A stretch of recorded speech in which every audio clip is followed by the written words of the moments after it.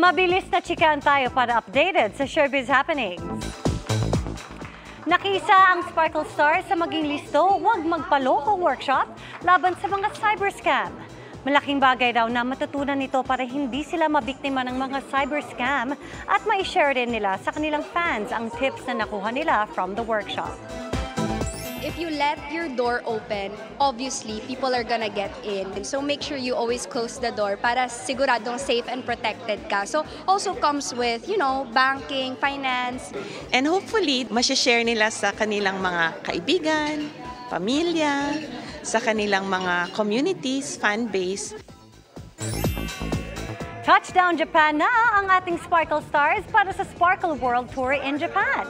Libre ang admission sa two nights of fun and performances ni na Julian San Jose, Raver Cruz, Rudo Madrid, Bianco Mali, Betong Sumaya, Jillian Ward at Mark Oliveros this October 19 to 20.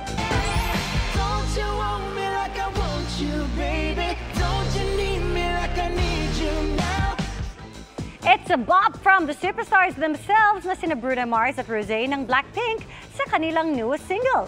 Ito ang first time na mag-collab ang two stars pero certified hit na agad para sa fans.